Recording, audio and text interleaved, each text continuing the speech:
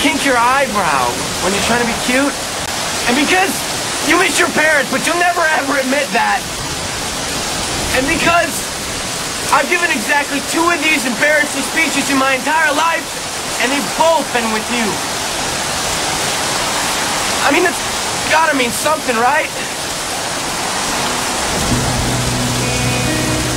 And because we're both gonna get pneumonia, but if you need to hear why I love you, I can go on all night.